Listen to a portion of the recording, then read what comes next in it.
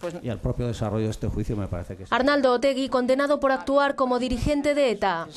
En España, la Audiencia Nacional ha condenado al ex portavoz de Batasuna y también al ex dirigente del sindicato LAF, Rafael Díez Usabiaga, por intentar reconstruir Batasuna a través del proyecto Bateragune, que ha sido definido por varios testigos como el Comité de Dirección de la Izquierda Berchale.